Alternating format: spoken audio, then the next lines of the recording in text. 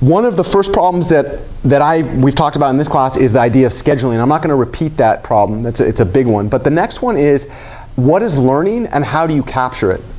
The whole idea of lecture notes rewrites is to try to capture a very, very complex process called learning in a written document. You know, uh, we could actually just look at this physically. Um, one of the things that is really interesting to me that I notice every single quarter is most of my students, when they take lecture notes, the only thing that they're writing down is the stuff that I write down. And the only thing that they write down is literally like the bare minimum of either the words that I said out loud or the physical symbols that I wrote on the page. And I think the reason that we do this, I used to do that all the time, like whatever I wrote on the page was what the teacher wrote, and I wrote nothing more. Because idea is somehow I have to capture it, right? But let me ask you this. How many of you in this class have been sitting in this lecture and realized the way that Jeff thinks about stuff is not the way that makes sense to me?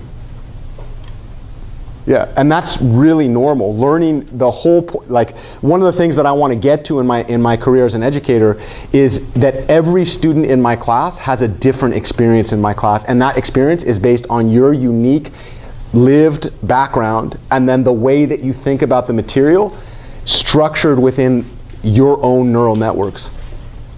But in order to do that, can you guess who has to drive that learning experience for each bit of content in the class? Yeah, this is one of the reasons I want to solve the problem of content delivery not live in class. The moment I lecture, do you know what I force? I, I, I kill curiosity and I force the, the ability not to reflect. I literally force you all to follow my speed in my words, in my handwriting, live in class, which basically requires asynchronous learning.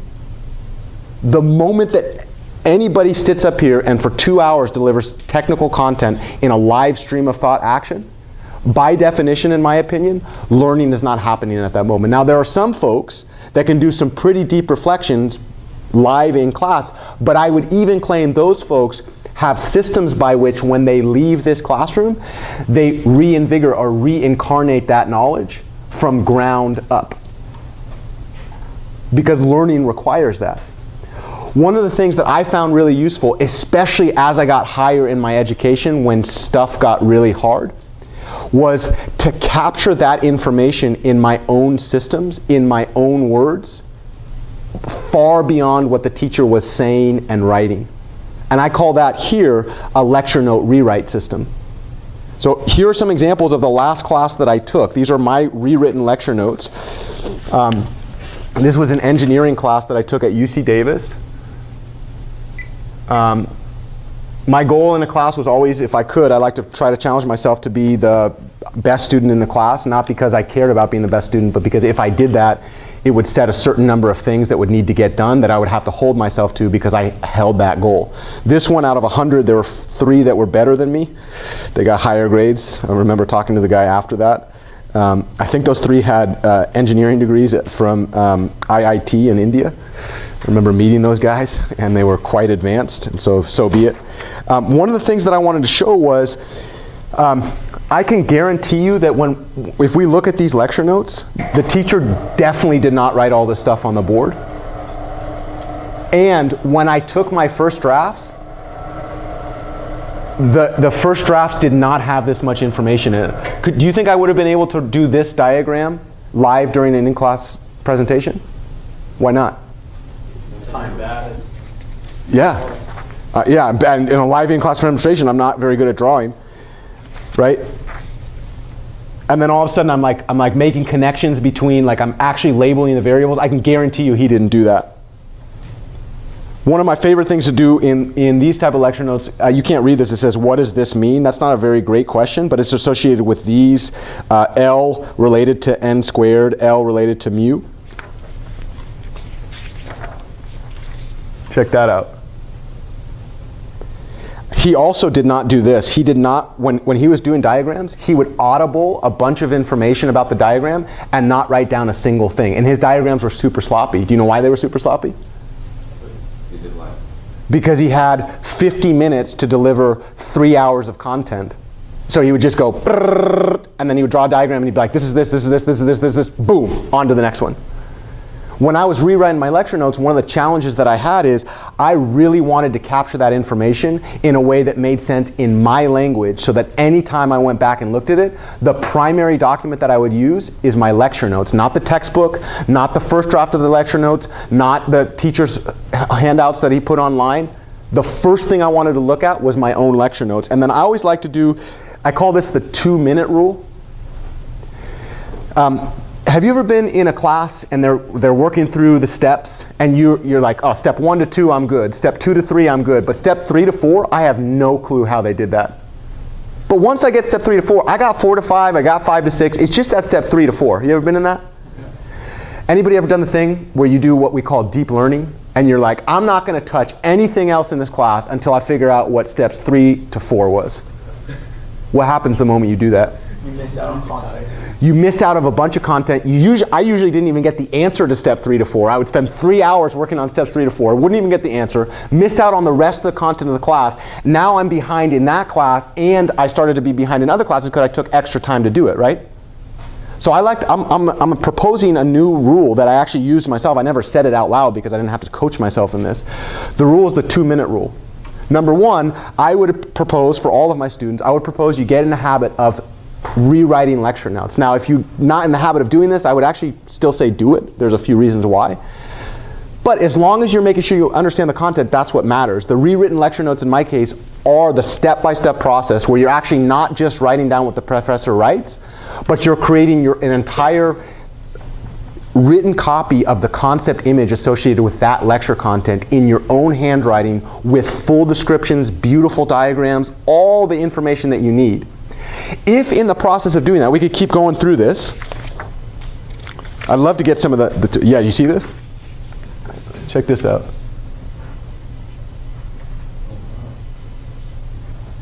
You know what the orange stuff was? Office hour visits. It was very common for me to get five hours of studying done in 10 minutes with a professor. You know what I mean by that? I would spend five hours rewriting my lecture notes and get all of the questions all written out. And then when I was with the professor, this guy literally would be like five people, he'd be like, go. And then you'd ask the question, then he'd be like, go, ask the question, answer, go, ask the question, answer. And within four or five rounds of that, I could fill out an entire lecture notes just by having them ready. Which meant, like, if the two minute rule holds, which is I'm working on steps one to two, two to three, three to four, let's see if there's some, some actual, like, heavy mathematical. This is pretty heavy right? So I'm going one to two, two to three, three to four. Here, three to four, I didn't understand. So I asked myself, how important um, is turns ratio to understands? Oh, okay, so I guess there's a turns ratio. I actually put the page number from the book. There's associated up here, and I wanted to know how important is this to understand. And then I have a memory tool associated with this. The impedance is higher where the voltage is higher. So now when I went into that, that office, that, that particular thing, like how much energy should I put into this, I couldn't answer that by myself. So the two minute rule that I would impose for myself and I would suggest that you think about is if you're working on rewriting your lecture notes and you're structuring all this information and you're really customizing it and then you get stuck, give, our, give yourself two minutes. And in that two minutes, you can do anything you want to try to answer that question. You can look at the notes, you can look at the book, you can go online. But if that two minutes is up, and you still don't have an answer, then write a very, very well articulated question in full words about the context of the question and exactly what the question is. I like to highlight it. I have a student that just coached me today. She likes to put post-it notes, and she said the post-it notes are really nice because then she's not flipping through her notes. She literally just grabs the post-it note, goes right to that question, and says, "Yep, there it is." And then the claim is once you've done that, once you've gone through the entire lesson and you've done the two minute rule, what ended up happening for me is I would get through everything that I could understand in the time that I allotted. And I had partitioned the notes into two sections, two types of content. Can you guess what those were? Stuff that I understood really well and I had a really well written document that led me through every step that I needed. And what? All the things that I didn't understand in well articulated questions with a track record that I could bring to office hours and live in office hours get help to that. The reason there's two reasons why I like to write really well articulated questions. I got to a point in my career where I could actually answer my own question by wording it properly. At, I mean, seven out of 10 questions, if I just wrote out the whole question, I would usually find, oh, of course that's the answer. Why wasn't I thinking that to begin with? And then the other three questions, as long as I had the entire questions written out and it was super well contextualized, one thing that would be really nice is normally if I had a question on Saturday, do you know when the next time I'd see the professor? If I was lucky Monday, but usually like Tuesday or Thursday. Anybody ever have a question that you wrote on Saturday and then didn't even understand the question on Mo Monday, Tuesday, or Thursday? If I write the entire context down, all I have to do is read my question. Two, not all professors are friendly. I ever tell you about the professor I showed up to his office hour? I knock on the door and he goes, yeah, what? Doesn't even turn around. He goes, yeah, what? And I'm like, oh, I have some questions. And then he goes, yeah, go ahead. And he wouldn't turn around and look me in my eyes until I asked him an interesting question. Ever tell you about the professor that looked me in my face and said, you're stupid, you shouldn't even be in this school? in a situation where I'm having to ask questions, technical questions, in a hostile environment, if I haven't written the entire question down in full wording, I'm screwed.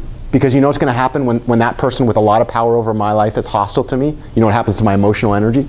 You get nervous. A spike. You know what happens if I have a full question written on a document that's well, well written out that follows the lecture and I get nervous? You know what I do? Read this, please. That's my question. And now all of a sudden, my emotions are gone, and all we're talking about is the content, which is what they, what that hostile person wanted to do, anyways, right? Yeah. Um, and then the idea then is now I've translated the problem of understanding the entire lecture into the problem of getting the stuff that I do have, writing really good questions for the stuff that I don't have, and then outsourcing that for an asynchronous conversation that's going to happen later, in which case I can go to office hours and get those done and then I would make a priority to visit office hours every quarter. The reason that I say this is most of my students don't, don't look at their own work as publishable. But I'm going to say this every single one of you can write a textbook. And one of the first places that I would challenge you to do that is in your notes. I would challenge every one of you to make a more valuable resource than the textbook written in the course. Now, of course, you might say, well, how can I make a more valuable resource? This person has had 50 years to work on that, or 20 years, or 10 years. When they wrote that textbook, were they thinking about your learning? Were they thinking about your background? Were they thinking about your experiences? Were they writing it in language that was designed by you? The entire learning resources was written for somebody else. When you're rewriting your lecture notes, my challenge to every single student is write them in such a way that those become primary documents that you can use for the rest of the course. And to be honest with you, to this day, I am still working in this content. And when I have a question, do you know what source I go back to? I go back to my notes. I have the textbook for this, I have the professor's notes. My notes are more valuable. There's more information in these notes than is available in the textbook and available in the professor's notes the, the editors for the textbook, you ever notice this when you're reading a math textbook? There's a bunch of missing steps. You know why they do that? Save money. The editor's like, oh, I don't need to show the students that 2 plus 2 is 4, and I don't need to show the students that 4 divided by 8 is 1 half. So why don't I just skip all those steps, and we'll do the most important steps to that. But just because the editor made that decision, does that mean that you understand all the steps that are missing? Guess what you can do, or guess what I can do when I rewrite my lecture notes? I can add all the steps in, and I can create, it from one diagram in the textbook, I might create three or four different diagrams in my notes, highlighting different aspects of that. Once, once we can get in that habit, once I got in that habit, what ended up happening in all of my classes is I began to customize my understanding of that material in a, in a track record that I could go back to. And when I think about a test, the reason that this is important, do you know what an exam is in a STEM class? We're actually solving, we're actually doing four different things. We're, we're testing you on your understanding. What else are we testing you on? Yep. I was going to get to that. We want to see that you can remember. We want to see that you can, I guess we can do that here, problem solve. You know what else we ask you to do? We ask you to perform. In other words, we ask you to, to, to, to do something under time pressure in, in, a, in encapsulated space. You know what this system does? This system does one thing. Do you know what it does? It forces me to spend the time to really understand the material that the teacher said out of their mouth at least once. Now, I have whole other systems I'm not going to talk about today. I used to carry these around with me. These are literally every single technical content here has its own note card. And I, I literally used to go to parties on Friday nights, and it was like a 15 minute walk to the party. That's 15 minutes of study. That I wouldn't use these big ones because people would be like, oh my God, what's in that guy's pocket? I would use the small ones, right? Because then they would never know that I'm like a freaking nerd, right? There's, there are systems, like each one of these has its own system, but the lecture rewrite is a formal documentation that I can use to guarantee that at least once I've understood every single thing that that person said about the content written on the board. And I have a written document that I can go back to at any point that's customized for my understanding in my words, with my diagrams, with all the things that I need to learn that content. And it was written in a time where I could deeply reflect on it. Anybody ever notice that that's really hard to do in live lecture? Yeah. Yeah, live lecture is designed so that you can't do that. The reason I say that now is this class is an introduction to that. I would highly encourage you to, to kind of reflect on that process. And of course, I will say, do you think the skills that I'm showing you right now are going to be the ones that you should use? Not necessarily. Not necessarily. The whole point of this is to have you think about this problem that live lecture is not a good place to learn. And anytime somebody's telling you technical content, by definition, it's usually in their words. And so there's a non trivial problem to, to, to, to change that into your words and to create a highly valuable document where you can go back at any point and reference these. The reason I like to write it down, you know what happens if I write all this stuff out and I'm three days before the test and I forget something? How hard is it to reference that information? How hard is it to find the exact answer that I want for that problem three days before the test if I have it all written? It's instantaneous, especially if I have an organization system where I spend no more than 10 seconds finding a document. How hard would it be if I didn't write it out? You ever had this where you understood something, four weeks later you go back and you can't even remember what you understood? That system, if you don't write this, if I didn't write that stuff down, that system would kill me. The moment that I spent the extra time, and yes, this is more time consuming. Yes, I used to get made fun of. People would be like, why do you spend so much time in this class? Why are you writing all these notes? Why are you doing all this extra stuff? Because it's my education. I'm paying thousands of dollars. I could be making, I could make flipping burgers right now making money. But I'm not. I'm like sacrificing all that income to learn this shit. So let me do it right the first time I do it. We should teach this. This should be taught. Not a single person ever taught this stuff.